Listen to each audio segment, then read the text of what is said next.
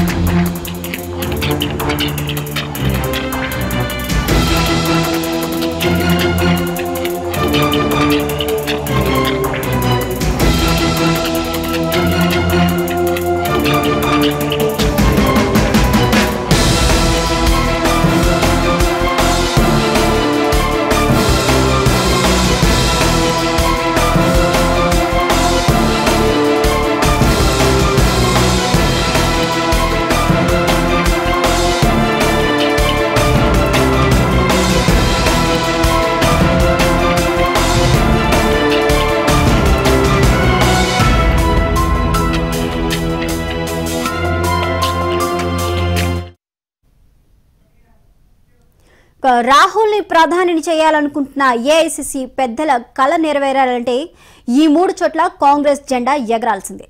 అందుకే ఏదేమైనా అధికారాన్ని చేజిక్కించుకోవాలని బీజేపీ కాంగ్రెస్లు సర్వశక్తులు ఓడుతున్నాయి తమ అస్త్ర శస్త్రాలను పదును పెడుతున్నాయి. మిజోరం ఒక్క లోక్సభ స్థానమే ఉండటం తెలంగాణలో బీజేపీకి పెద్దగా పట్టు లేకపోవడంతో మధ్యప్రదేశ్ రాజస్థాన్ ఛత్తీస్గఢ్లపైనే సర్వత్రా ఆసక్తి నెలకొనింది. బీజేపీ తరపున ఈ మూడు రాష్ట్రాలలో గెలుపు బాధ్యతను ఆర్ఎస్ఎస్ భుజాన వేసుకుంది. పట్టణ నియోజకవర్గాలతో పాటు ఎస్సీలు ఆదివాసీలకు రిజర్వ్డ్ అయిన చోట్లు కూడా సంకారణంగా బీజేపీపై వ్యతిరేకత ఉండకపోవచ్చని తెలుస్తోంది.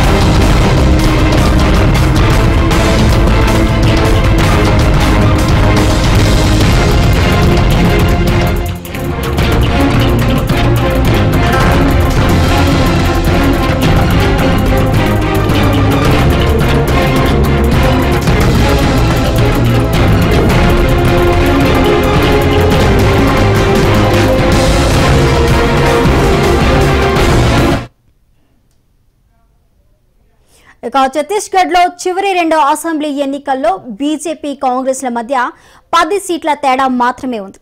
రెండు వేల పదమూడులో ఓట్ల తేడా కూడా సున్నా పాయింట్ ఏడు ఐదు శాతం మాత్రమే.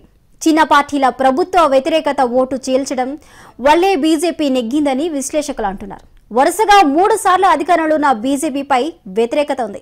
అయితే ఈ వ్యతిరేకతను అందిపుచ్చుకునే క్రమంలో కాంగ్రెస్కు అజిత్ జోగి రూపంలో నష్టం జరుగుతుందన్న చర్చలు జరుగుతున్నాయి. కాంగ్రెస్ మాజీ సీఎంగా ఉన్న జోగి కొత్త పార్టీ ఏర్పాటు చేయడం బీఎస్పీతో పొత్తు పెట్టుకోవడంతో ఎన్నికల ఫలితాలలో ఆసక్తికరంగా ఉండబోతున్నాయనే అభిప్రాయం వ్యక్తమవుతుంది. నాయకత్వం లేమిని ఎదుర్కొంటున్న కాంగ్రెస్ పార్టీ ప్రచార బాధ్యతలని రాహుల్ గాంధీ స్వయంగా మోస్తున్నప్పటికీ జోగి రూపంలో ముప్పు కాంగ్రెస్కు ఎంత నష్టం చేస్తుందో చెప్పలేని స్థితి.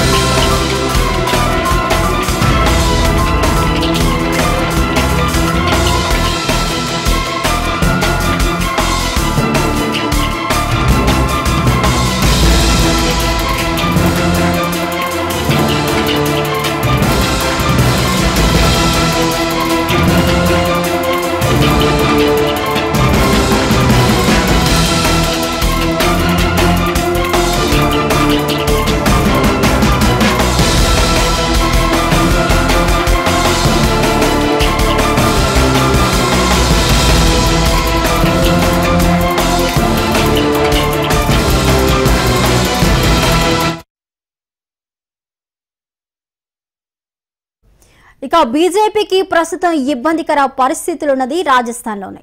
సీఎం వసుంధర రాజేపై ప్రజల్లో వ్యతిరేకత ఉన్నప్పటికీ ఎమ్మెల్యేలలో ఆముకున్న పట్టు ఆర్ఎస్ఎస్ అండదండల కారణంగా బీజేపీ అధిష్టానం సీఎం అభ్యర్థిని మార్చే సాహసం చేయడం లేదు. అభ్యర్థుల జాబితాలోనూ రాజే మార్క్ స్పష్టంగా కనిపిస్తోంది. అయితే రాజస్థాన్లో బలమైన సామాజిక వర్గంగా ఉన్న రాజ్పుత్లు బీజేపీకి దూరం కావడం ఆ పార్టీని ఆందోళనకు గురిచేస్తుంది రాజ్పుత్ వర్గానికి చెందిన ఆనంద్ పాల్ సింగ్ ఎన్కౌంటర్. ఆ తర్వాత జస్వంత్ సింగ్ కుమారుడు మానవేంద్ర సింగ్ బీజేపీని వీడి కాంగ్రెస్లో చేరడం వంటి ఘటనలతో రాజ్పుత్లు బీజేపీకి ఓటేయరంటూ విశ్లేషణలు వినపడుతున్నాయి. ఇది బీజేపీని ఆత్మరక్షణలోకి నెట్టేసింది. ఈ రాష్ట్రంలో గెలుపు ఖాయమని నమ్ముతున్న కాంగ్రెస్ ఇతర రాష్ట్రాల్లోగా ఆధిపత్య పోరు లేకుండా స్థానిక నేతల మధ్య సమన్వయంతో ముందుకెళ్తుంది. పీసీసీ సచిన్ పైలట్ మాజీ సీఎం అశోక్ గెహ్లట్ కలిసి చేస్తుండటం కాంగ్రెస్ కలిసి వస్తుందని భావిస్తున్నారు.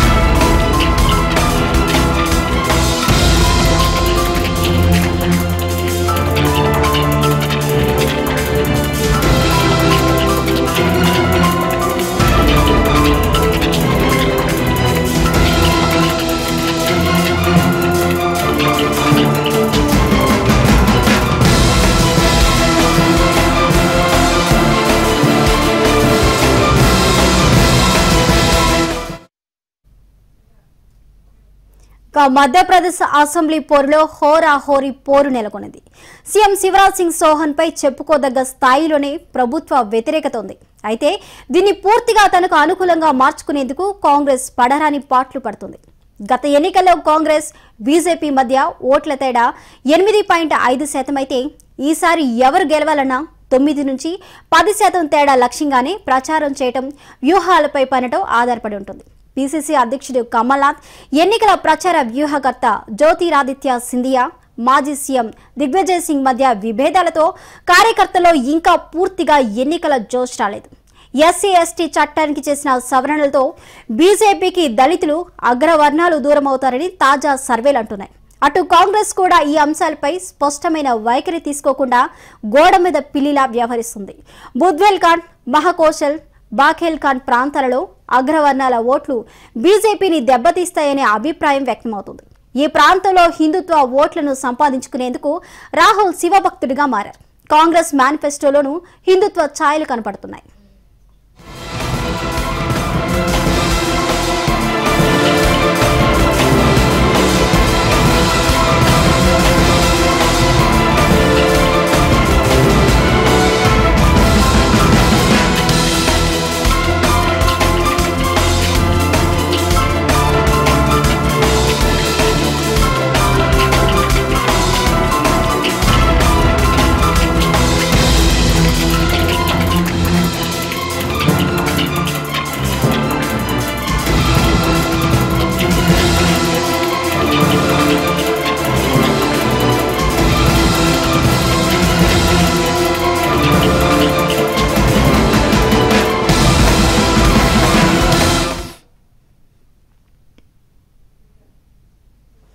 ఇక మధ్యప్రదేశ్లో రైతుల సంఖ్య ఎక్కువగా ఉన్న నియోజకవర్గాలు బీజేపీని భయపెడుతున్నాయి.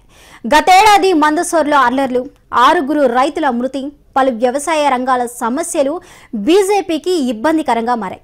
గ్రామీణ నియోజకవర్గాల్లో రైతులతో పాటు ఇతర వర్గాల్లోనూ ప్రభుత్వంపై కాస్తంత విముఖత వ్యక్తమవుతుంది. అయితే రైతులను ప్రసన్నం చేసుకునేందుకు ఎన్నికలకు ముందే చౌహాన్ నష్ట నివారణ చర్యలు చేపట్టారు.